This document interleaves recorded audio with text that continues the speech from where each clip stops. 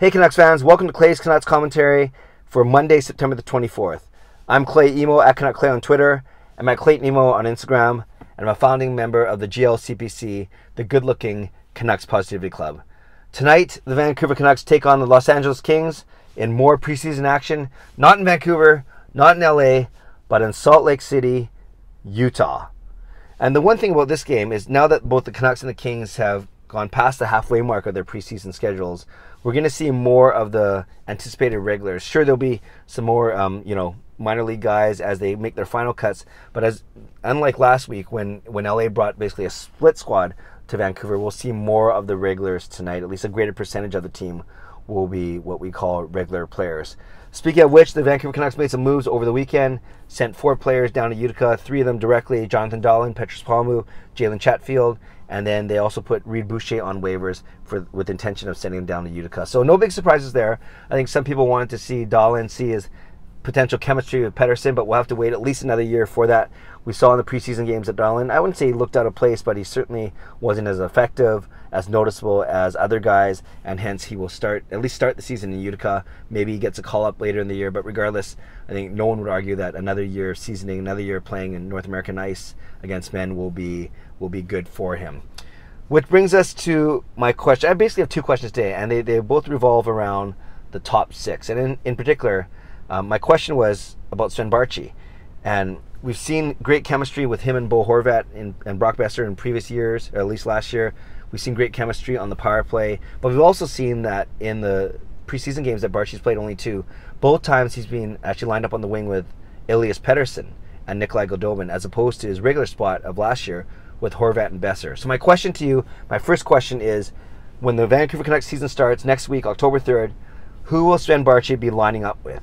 Will it be with Bo Horvat and Brock Boeser like last year, or will it be with Elias Pettersson and someone like a Nikolay Goldobin? But really, don't worry about that third line, the, the third person on the line. Really, I'm talking about is he going to line up with Horvat and Boeser or is he going to line up with Elias Pettersson? I'm going to talk about both options. I want to know what you guys think right away. Leave a comment below. I'd love to read, react, and reply as always. Put this on Twitter like I usually do before one of these videos, and I got 100 votes in the first hour, and it was very close actually. 54% said playing with Horvat and Boeser. 46% said playing with Pettersson. So it's very close. You know, it wasn't a lopsided poll. We'll see how that tracks for the rest of the day. But let's talk about the merits of of uh, Baertschi uh, in both ways. Obviously, with Bo Horvat, with Brock Boeser, we've seen that they had chemistry. They had really good chemistry last year before Horvat and Baertschi, and actually Boeser, all three guys at different times got injured throughout the season. But when they did play together, they played very well together. Um, I, and Baertschi's very creative. He's he's not he's not afraid to go to the net, but along the outside, he's got good stick handling. He's he's he's a good hard on the puck, hard enough on the puck. He's not the the hardest guy ever to take off the puck, but he controls the puck well. Maybe that's a better way. He protects the puck well. He's a good, uh, you know, nifty stick handler, a good skater, and he's actually got a decent shot and a good nose for the net, as we've seen this preseason. So, all those reasons and the chemistry, obviously, that would be a reason to keep him with Horvat and Boeser. And we've seen on the power play, actually, in the preseason so far, how he's done very well playing with Horvat and Boeser, and of course uh, Pettersson. And in particular, I think that Baertschi's chemistry with Horvat is really, really good. They, they know each other well. They know exactly. Horvat's more the net net front presence, the guy who rushes the net. Baertschi's more the creative player on the wing, so to speak. So that's the case for playing with Horvat and Boeser. The case for playing for Pettersson, it's interesting. As I mentioned, he's uh, both at Baertschi's preseason games. He's lined up with Pettersson.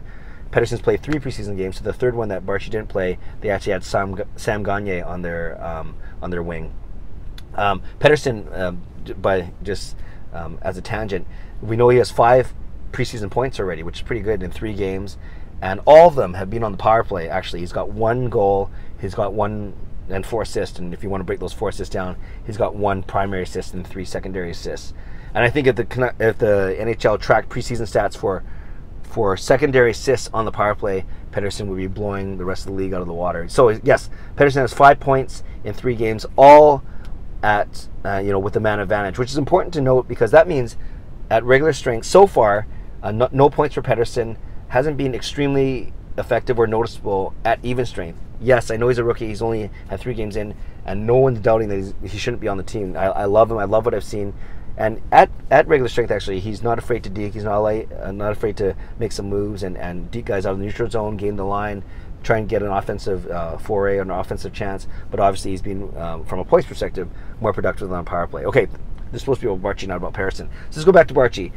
If you play him on Pettersson's wing, it gives Pettersson a skilled, experienced, reliable, defensively sound, defensively reliable forward in Baertschi, and you need that for Pettersson. Obviously, you're not going to play Pettersson with two rookies, um, so you. I think Baertschi gives um, Travis Green some comfort playing on Pettersson's left side that he will be, um, you know, not not only be able to keep up with Pettersson on the offensive end, but also help him out uh, with his defensive responsibilities. But was all, we've also seen that Pettersson is a great back checker actually already, one of the Canucks' best defenders coming back and helping out. So maybe that's a combination that works. Baertschi with Pettersson. Um, so that's my first question: is where, and obviously this can change throughout the season, but where should Baertschi play with Horvat Boeser or with Elias? Sorry, with Elias Pettersson. The second more, you know, the second question, the secondary question affiliated with that is if we're talking, if we include Loui Eriksson in the mix, who looks like he's coming back from his uh, return from injury, we basically have seven forwards vying for six top, you know, six top six spots, in top two lines. And I'm going to put Eriksson in there because I don't see him as a third or fourth line player. So we have, obviously, Horvat, Boeser, Baertschi, Pettersson, and then throw in Eriksson, Goldobin, and Leipsic. So of those seven players, Horvat, Boeser, Pettersson, Baertschi, Goldobin, Leipsic, and Eriksson, which of those seven players is not going to play in the top six? So you can go process of elimination. You know that Horvat, Boeser, Baertschi, and Pettersson will be there. So of the three, Goldobin, Leipsic, and Eriksson, who gets the other two top six spots?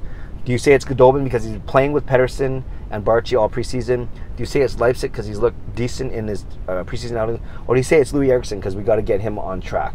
So that's the secondary question is which of those seven guys, who's going to fall out and not be part of the top six?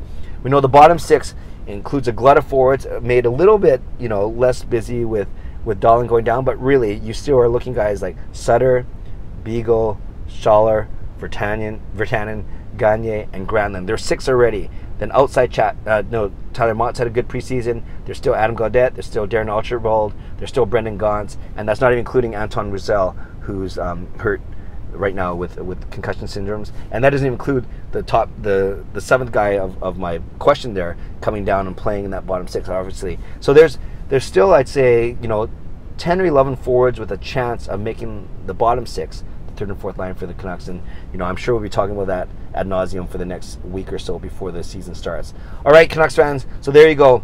regarding Sven Baertschi, who does he play with, Horvat and Boeser or Pettersson? That's question number one. And question number two is uh, really, of those seven guys, who who plays in the top six and who doesn't make the top six between Horvat, Boeser, Pettersson, Baertschi, Goldobin Leipsic, and Loui Eriksson, who I'm throwing in there.